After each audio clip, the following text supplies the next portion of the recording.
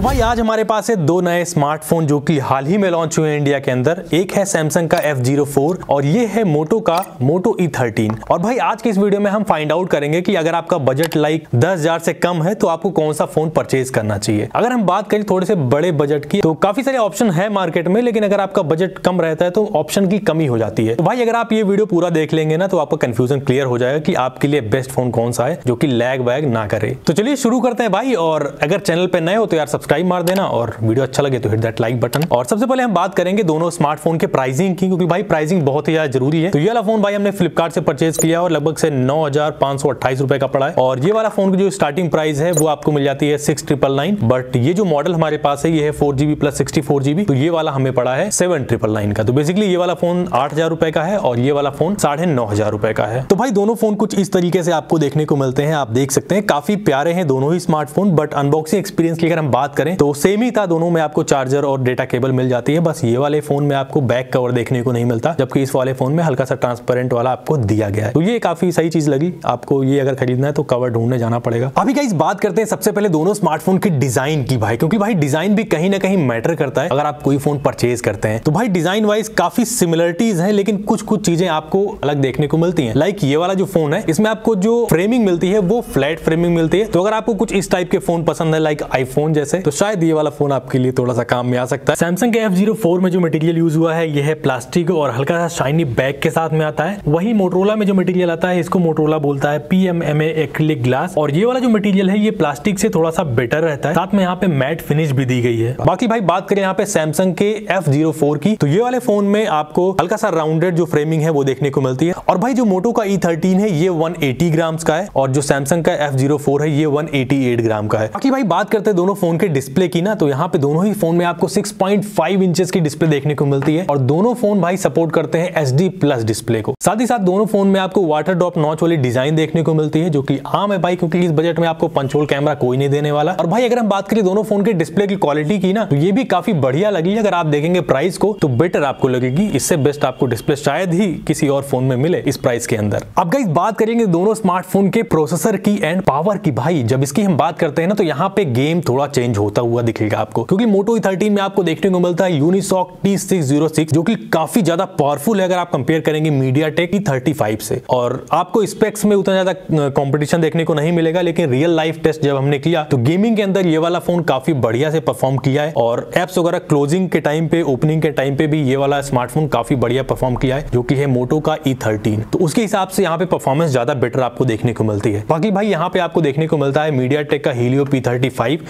और भाई चलिए आपको ये चीज़ दिखाते हैं और यहाँ पे देख सकते हैं आप, दोनों स्मार्टफ़ोन में हमने पबजी न्यू स्टेट ओपन मतलब इंस्टॉल किया हुआ है ज़ीरो फोर और ये है मोटोला का ई थर्टीन तो दोनों स्मार्टफ़ोन में हम लोग साथ में ओपन करेंगे।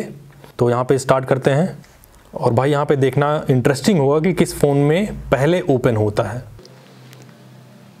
ओके तो यहाँ पे मोटो ने पहले प्रोसेस किया है। देख सकते हैं आप। और सैमसंग में अभी ब्लैक स्क्रीन आ रही है और ये अभी फाइनली प्रोसेस हो चुका है।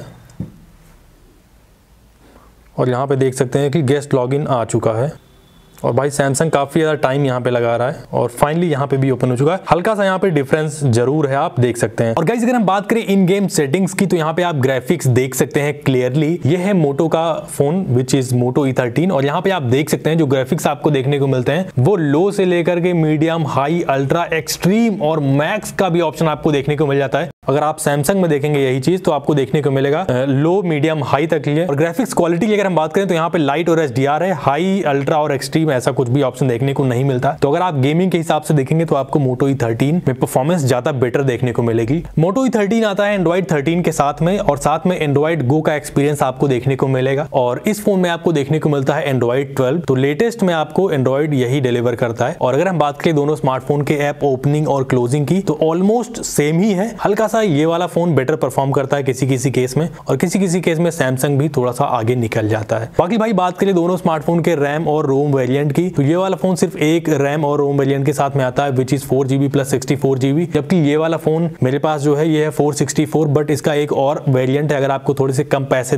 डालने हैं तो आप दो GB plus thirty two GB भी ले सकते हैं। बाकी भाई, बात करें दोनों स्मार्टफ़ोन के कैमराज की तो ये वाले फ़ोन में आपको सिंगल कैमरा देखने को मिलता है विच इज़ थर्टीन मेगा जबकि ये वाले फ़ोन में आपको डुअल कैमरा देखने को मिलता है। पहला आपको जो कैमरा है वो थर्टीन मेगा का है और दूसरा है टू मेगा का। और हालाँकि टू मेगा के सेंसर उतने काम के होते नहीं है बट यहाँ पे दिया गया है। और अगर हम बात करें दोनों स्मार्टफ़ोन के कैमरा क्वालिटी की तो कैमरा क्वालिटी यहाँ पे आप साइड बाई साइड देख सकते हैं। और ओवरऑल कैमरा क्वालिटी मुझे मोटो की ई e की बेटर लगी है। बाकी भाई बात करें दोनों स्मार्टफ़ोन के फ्रंट कैमरे की तो फ्रंट कैमरा के हिसाब से दोनों ही स्मार्टफ़ोन काफ़ी बढ़िया परफॉर्म करते हैं। दोनों स्मार्टफ़ोन में आपको 5 मेगापिक्सल का फ्रंट कैमरा देखने को मिल जाता है। और कुछ फ़ोटोज़ इसकी भी यहाँ पे आप देख सकते हैं। बाकी भाई दोनों फ़ोन में आपको 5000 थाउज़ेंड की बैटरी देखने को मिल जाती है। और अगर हम बात करें इस फ़ोन के चार्जिंग स्पीड की तो ये है टेन वॉट का। लेकिन भाई सैमसंग के एफ़ में आपको दस वॉट की भी चार्जिंग देखने को नहीं मिलती। यहाँ पे जो चार्जर दिया गया है, वो है फाइव वोल्ट वन पॉइंट तो अगर आप ऐसे थोड़ा सा कैलकुलेट करेंगे ना तो सेवन पॉइंट वॉट हो जाता है। तो सैमसंग वाले से थोड़ी सी और दे देते तो मज़ा आ जाता है लेकिन नहीं मिलती भाई। अब गाइज़ यहाँ पे बात करें दोनों स्मार्टफ़ोन के प्राइसिंग की तो प्राइसिंग तो हमने स्टार्टिंग में ही बताई थी, लेकिन ये वाला फ़ोन का एक एडवांटेज है। यहाँ पे दो जीबी रैम के साथ में आपको थर्टी टू जीबी भी देखने को मिलता है। तो अगर आपका बजट थोड़ा कम है तो ये वाला फ़ोन आप सिर्फ़ सात हज़ार रुपए में परचेज कर सकते हैं तो ये काफ़ी बढ़िया चीज़ है। लेकिन यहाँ पे सिर्फ़ एक ही वेरियंट आपको देखने को मिलता है which is four GB plus sixty four GB क्योंकि भाई ये वाले फ़ोन में आपको एंड्रॉइड गो मिलता है तो दो जीबी में भी काफ़ी बढ़िया से चल जाना चाहिए। और अगर आप कंपेयर करेंगे four plus sixty four GB को तो भी प्राइस डिफरेंस काफ़ी ज़्यादा है। ये वाला फ़ोन आठ हज़ार रुपए का पड़ेगा और ये वाला फ़ोन साढ़े नौ हज़ार रुपए का पड़ा है मुझे। सो गाइज़ आई होप कि आपको ये वीडियो अच्छा लगा होगा। अगर भाई अच्छा लगा तो यार लाइक करके जाना और सब्सक्राइब कर लो ऐसे ही मस्त कंटेंट के लिए। मिलते हैं आपसे अगले वीडियो में, तब तक के लिए हैव अ ग्रेट डे